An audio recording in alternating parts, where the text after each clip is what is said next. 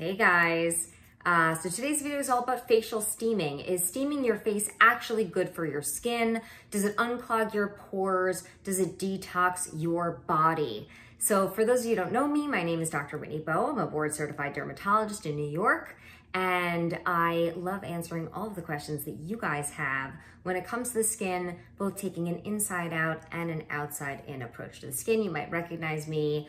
Um, I'm often uh, contributing to programs like Good Morning America, The Rachael Ray Show, giving my expert opinion to different news outlets like the New York Times, The Wall Street Journal.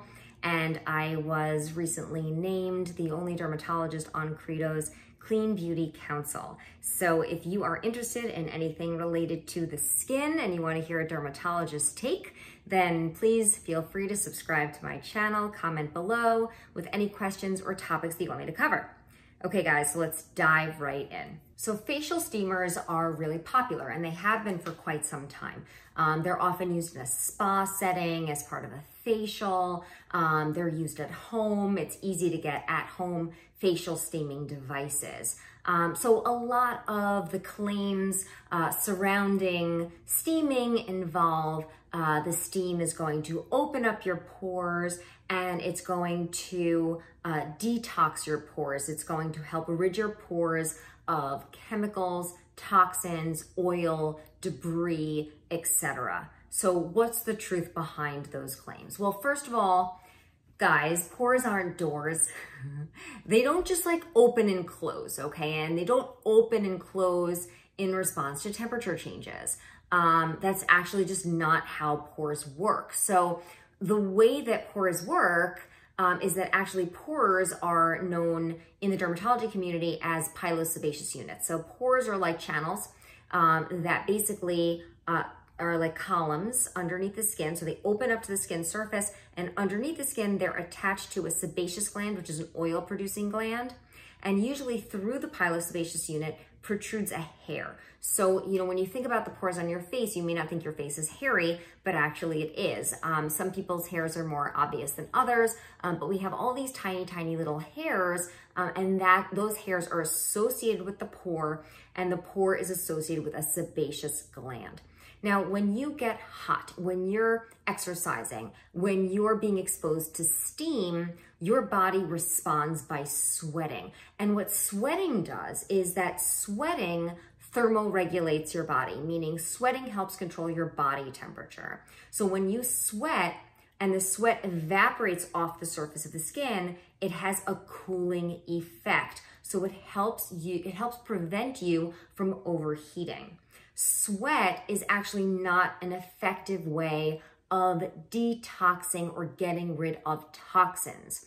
So when we think about the organs and the mechanisms in our body that help rid us of toxins, doctors focus on the kidneys and on the liver. So those organs are really designed to help rid your body of toxins. Sweat, it's a very big misconception when you sweat, you do not actually get rid of toxins. So when you sweat, another point that I just wanted to make is that when you experience, when you're exposed to heat or steam and you sweat, that is stimulating what are called eccrine glands. It's stimulating your sweat glands. Now your sweat glands are different from your sebaceous glands. Okay, so that's a really important differentiation because I think that people think that you're flushing out your pores when you sweat.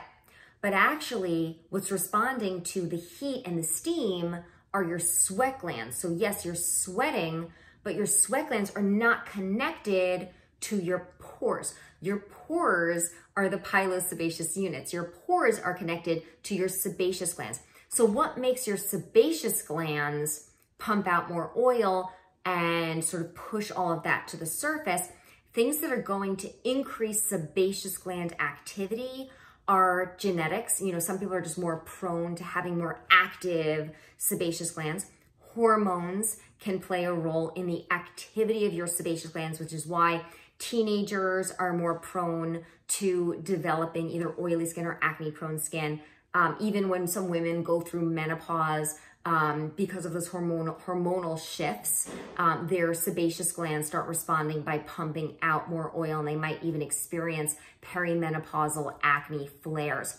Another thing that triggers sebaceous gland secretion is irritation. So if you are introducing ingredients that are irritating to your skin or if you are not respecting the skin barrier, meaning if you are, say, over exfoliating, over cleansing, using too many alcohol based toners, things that are drying and stripping your skin, that will irritate your sebaceous gland.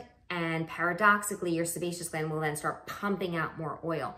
So, a lot of my patients who have oily skin, they think that, you know, using these more aggressive scrubs, toners that make their skin feel tight or dry, they think that those products are drying out their skin, but in actuality, it can actually make things worse uh, because that irritation can then stimulate their sebaceous gland to pump out even more oil.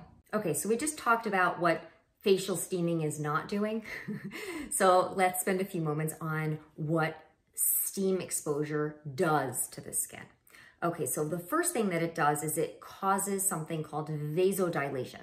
So it makes your blood vessels expand so they can be constricted and then they can dilate. So that's going to increase blood flow to the surface of the skin.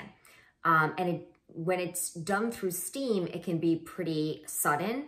Um, and that can make rosacea flare. So if you're someone who suffers from rosacea, red blotchy skin, steam can make things a lot worse. Um, actually, rosacea is one of the most underdiagnosed um, and misdiagnosed conditions out there. I have a lot of patients who thought that they had acne when indeed they actually had rosacea and they thought that steaming was good for their acne so they were steaming their skin and their rosacea got out of control and then you know when they come in the office and i explain what rosacea is and how it can be made worse by vasodilation and those people stop steaming their rosacea, their red blotchy skin gets significantly better. So another thing that steaming can do is that it can increase inflammation. Um, so when you vasodilate the blood vessels, um, especially in that sort of very sudden way uh, as you experience when you expose your skin to steam, it can bring not only um, sort of fluid through your blood vessels into the skin, uh, but that fluid is accompanied by white blood cells and inflammatory cells and inflammatory cytokines or these little chemical signals that can actually increase and trigger inflammation. So you guys hear me talk a lot about the skin barrier and how an important skin barrier is critical to healthy skin. Well, steaming can also weaken the skin barrier. So a healthy barrier is able to trap moisture in, keep the skin hydrated, and is able to keep pollutants, allergens, and irritants out of the skin. Pollutants, irritants, and allergens when they penetrate the skin barrier, they can trigger inflammation. So you really want to keep that skin barrier intact because you want to keep those things out and you want to trap moisture in. Okay, so when your barrier is not functioning properly, as what can happen when you expose yourself to steam, you uh, lose more water through your skin. So you actually end up dehydrating your skin and you allow those other ingredients to penetrate through the skin and trigger inflammation. And again, you know, inflammation is tied to so many different skin conditions. You know, inflammation is that common thread that links things like acne, rosacea, eczema, and even premature aging. It accelerates aging. So even if you don't see clinical inflammation, if there's subclinical inflammation, inflammation that's sort of, uh, you're triggering it periodically because you are exposing your skin to steam on a regular basis or for too long, um, that can cause uh, premature aging over time. Probably one of the reasons that I really hate steam. you guys are noticing I'm not a fan of steam. Um, so one of the things that I find especially troublesome when it comes to steam is that it exacerbates um, melasma and hyperpigmentation. So in people who have melanocytes, melanocytes are pigment producing cells.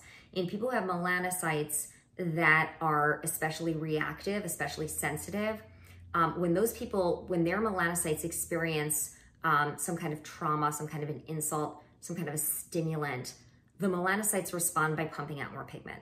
It is well known among dermatologists that people who with who have melasma will get worse when exposed to heat.